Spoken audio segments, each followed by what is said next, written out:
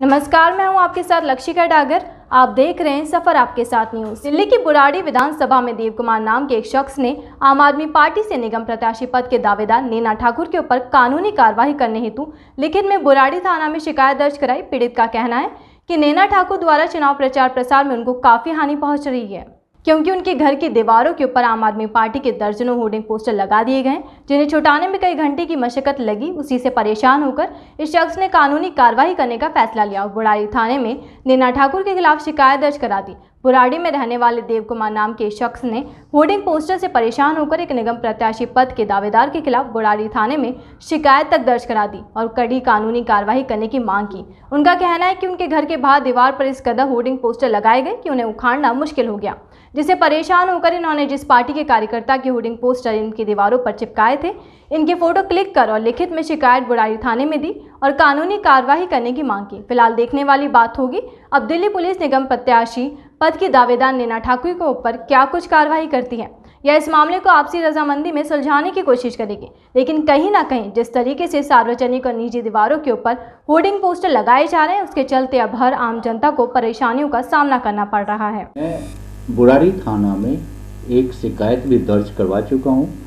कान, कानून अपने अपना काम कर रही है और मुझे उम्मीद है कि कानून से मुझे न्याय मिलेगा। दोनों चीज़ होता है। एक तरफ़ तो हम स्वच्छ भारत स्वच्छ दिल्ली का नारा देते हैं और दूसरी तरफ़ सत्ता में बैठे लोग ही दिल्ली की दीवारों को गंदा कर रहे हैं दिल्ली को गंदा कर रहे हैं और दूसरी तरफ़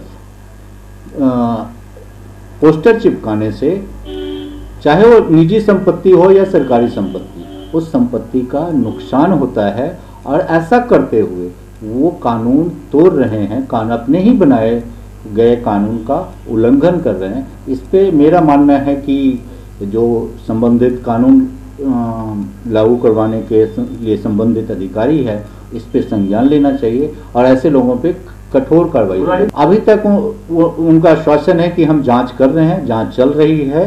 और मैं उसका लगातार फॉलोअप कर रहा हूँ। हमारी बात हो रही है और जल्दी हम मुझे उम्मीद है कि न्याय मिलेगा। ये आज के समय में बहुत बड़ा कंसर्न है।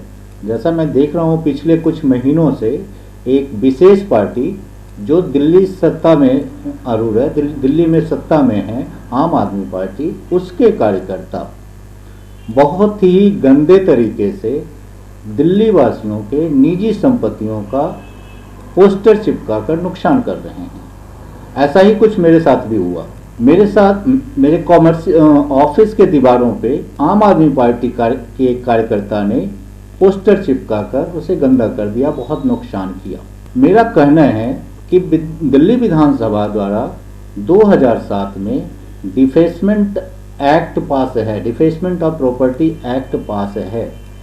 उसके ही नियमों को उसकी ही सरकार के कार्यकर्ता तोड़ रहे हैं दिल्ली वासियों की संपत्तियों का नुकसान कर रहे हैं।